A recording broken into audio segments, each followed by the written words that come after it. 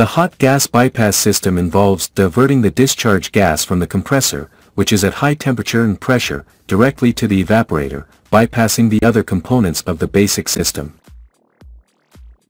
This allows the temperature of the discharge gas, typically between 60 and 80 degrees Celsius, to increase the temperature of the evaporator, facilitating the quick removal of frost in this part of the system. From this point, the hot gas bypass system operates as follows. 1. In the compressor discharge line, there is a bypass that includes a solenoid valve. 2. This solenoid valve controls the flow of the discharge gas into the bypass line, which connects directly to the evaporator. 3. The solenoid valve can be controlled by a thermostat, timer, electronic controller, or other methods. 4. The main advantage of the hot gas bypass is the speed at which defrosting can be carried out. 5. Another advantage of the system is that it does not require the compressor to be turned off during the defrosting process. 6. The hot gas leaving the evaporator continues its journey through a pipeline until it reaches the compressor. 7.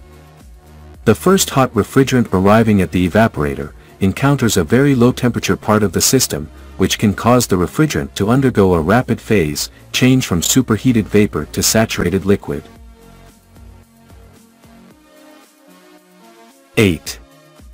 To prevent this violently, generated liquid from reaching the compressor directly, it is recommended to install a liquid accumulator in the suction line, to act as a barrier for the liquid refrigerant.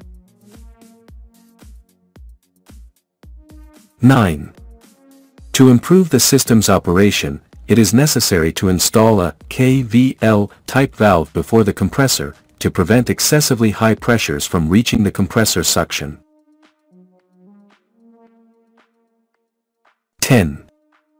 Additionally, a control valve can be placed in the hot gas bypass to regulate the excessive supply of hot gas to the evaporator and prevent flooding.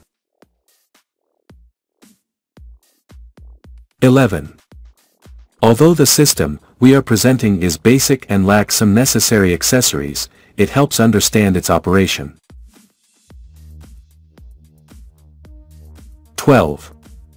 When the solenoid valve is activated by the thermostat or programming, the defrosting process begins with the bypass gas, without the need to stop the compressor. 13. This method is especially useful in high-capacity systems, where stopping the compressor is impractical.